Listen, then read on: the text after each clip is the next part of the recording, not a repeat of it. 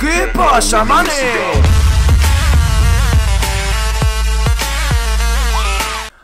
Muy buenas a todos, bienvenidos a una nueva jornada en esta liga. Adelante con el Real Sporting de Gijón, jornada número 36 donde nos visita el Mallorca, que viene de la mano del crack de Cetilla, como siempre, en el título su Twitter, en la descripción su canal, debéis de pasarse por ambos sitios y seguirle y suscribirse y dejar vuestros likes en sus vídeos, es un auténtico top, entre otras cosas, es el autor de mi outro y de mi intro, esa que os gusta tanto, la de ¿qué pasa, manes? Pues esa misma la hizo él, se la toca hacer yo 2-3 años mínimo y no quedaría exactamente igual de top.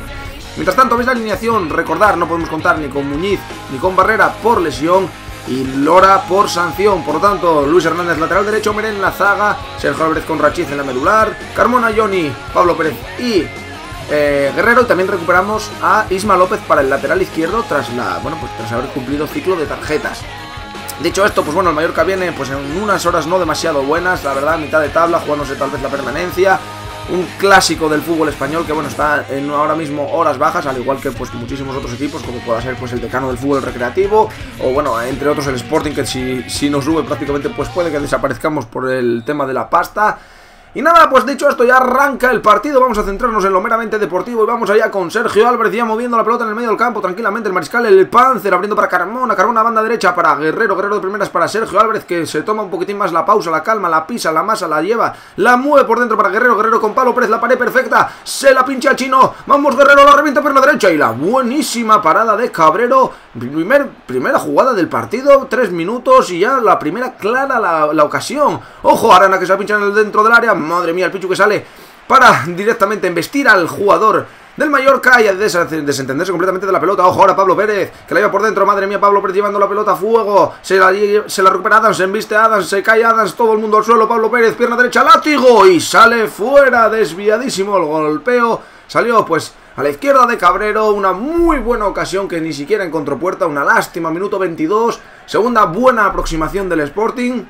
Y vamos allá con otra, la recupera Rachiz, Rachiz por dentro para Guerrero, Guerrero presionado por Vigas, Guerrero en cada Vigas, ojo Guerrero que se va muy bien de Vigas, madre mía Guerrero tiene el pase claro para el centro, Guerrero pierna derecha, se la casca y la revienta contra la madera, Egoísmo puro el de Guerrero en este caso que al final pues acabó con un eh, disparo a la madera. Ojo Luis Hernández por dentro para Sergio. Madre mía que bien la llegada a línea de fondo Sergio que la pisa, la aguanta, espera, busca el centro. Llega ahí con la espaldiña Johnny. Pero muy bien Cabrero que aguantó de pie para hacerse con esa pelota.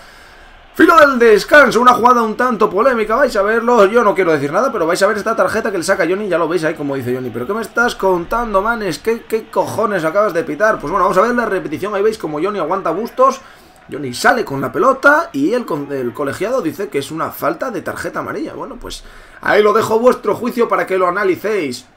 Una falta lejana que iba a botar ahí Pereira con pierna derecha buscando el balón larguísimo, tal vez una especie de centro shoot. Y que atrapa muy bien Cuellar para reventarla y que el colegiado diga que es tiempo de pillar camino a vestuarios, descansar y recapacitar sobre esta primera parte que acaba en tablas 0 a 0.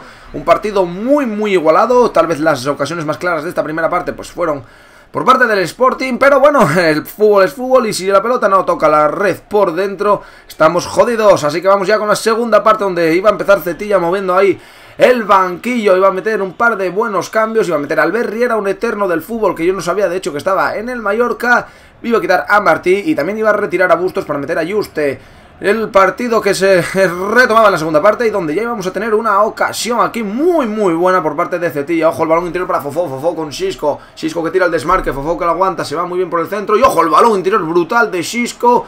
O sea, para Xisco que la mata con pierna derecha, brutal el balón que le colocó Fofó a Xisco.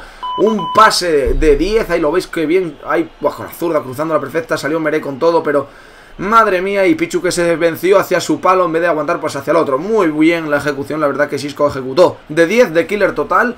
Y bueno, pues Cetilla que coloca el primero en el marcador 0 a 1. Nos tocaba levantar esto. Nos tocaba hacerlo, pero rápidamente porque como ya sabéis... Ayer han ganado, pues entre otros, eh, Las Palmas y Girona, el Betis que pincha, por decirlo de alguna manera, porque empata en casa, y bueno, pues el, Sporting le queda lo que tiene que hacer, o ganar o ganar. Ahí la lleva Rachiz en el saque de centro, perdiéndola ya, la vuelve a recuperar muy bien Meré. Meré con Carmona, Meré que ahí lo veis como se está incorporando a fuego. Carmona, balón interior para Meré. Meré no, para Guerrero, Guerrero que la pincha Meré. Que pase de exterior de Meré y Guerrero con pierna izquierda a la madera de nuevo. Otra ocasión para el chino que se va a la madera. Madre mía, minuto 60. Ojo el balón larguísimo para Chisco que gana la espalda de la defensa. La vaselina, el picho abajo. Y el balón que da en la red superior de la portería. Otra ocasión buenísima con ese balón interior para Xisco, que en esta ocasión con pierna izquierda buscó la vaselina, pero salió fuera. Era momento de cambios, íbamos a meter ahí el 4-4-2, poníamos dos delanteros, íbamos a retirar a Rachi para meter a Nacho Cases, que moviese un poco más la pelota por el centro del campo. Y vamos a quitar a Pablo Pérez para meter al ratón Castro, que ya sabéis que tiene ese olfato exquisito de gol. Ahora muy buena la ocasión que se viene también por parte de Carmona. Y lo veis como la mueve por el centro para Nacho Cases. Ojo, el primer balón de Nacho Cases cambiado completamente para Johnny. El 23 perdigón de Cangas ahí con esa amarilla tanto discutida. El perdigón de Cangas que se va muy bien Pisa área, entra en el área, balón atrás larguísimo para Carmona Maga el disparo, bicicleta Carmona pisa dentro del área Y el golpeo que tras golpear Viva la redundancia en el zaguero se cuela, pues templadina, mordida, rebotadina muy sana en el fondo de la portería. Ahí veis cómo le rebota, pues eso, gemelo, muslo, una cosa así. Y el portero que, bueno, pues eh, tras el rebote, pues se pide un poco la sorpresa y se tira en plan desesperado hacia atrás, pero de poco le iba a servir. Colocábamos las tablas en el minuto 65 y lo veis que le dan el gol en propia puerta y ustedes no se lo dan ni a Carmona. Viva EA Sports It's in the game. Y listo, vamos allá con la siguiente ocasión que iba a ser por parte de Cetilla, minuto 70 y veis cómo la lleva Xisco, aguantábamos la zaga, el equipo partido en dos, volcados en el ataque, ojo Xisco ahí aguantándola, amasando el balón para Riera, Albert Riera, ahí metía muy bien el pie Bernardo, el rebote que le quedaba a Albert Riera, con pierna izquierda ejecutaba al Pichu Cuellar y a los dos, tres defensas que se habían tirado encima de él, una muy buena contra de Cetilla, yo tenía el equipo volcado arriba, y bueno, no la supo aguantar, supo gestionar los tiempos y esperar las ayudas. Y ahí veis cómo justo metió el pie Bernardo, pero no fue lo suficiente para rebañarle la bola. Y al final, pues bueno, el golpeo exquisito con pierna izquierda, el Pichu se volvió a ceder hacia el otro lado. Y toda la defensa se tiró ahí, embistiéndose unos a otros. Ahí hubo penaltis, hubo de todo, pero bueno. Al final, gol de Albert Riera, que incluso, si no me equivoco, fue internacional con la selección española. No sé, no sé si llegaría a ir algo mejor a la, a la Eurocopa o tal. Pero si no me equivoco, fue internacional con la selección española y no sabía yo que estaba en el Mallorca. Ahí lo veis, lo descubrí en este partido. Ojo, Nachin Case saliendo desde atrás, pero nada, esa iba a ser una jugada inútil. Ojo, ahora mismo Johnny van de izquierda, Perdigón la aguanta la misa, la pisa, la masa por dentro, buscando un apoyo. Nacho Cases con pierna izquierda, la revienta, buscaba la escuadra, pero de nuevo Cabrero interviniendo muy bien para evitar cualquier tipo de chance. Y ahora ya, minuto 90, añadía 4, última jugada del partido. Carmona sin energía de nada, balón ahí de cabeza para Carlos Castro, el ratón. Se pisaba área, buscaba la pisadita para colocarse en pierna izquierda. Pero cuando justo iba a golpear, el zaguero se le adelantó muy bien. Y en el saque, el cancerbero.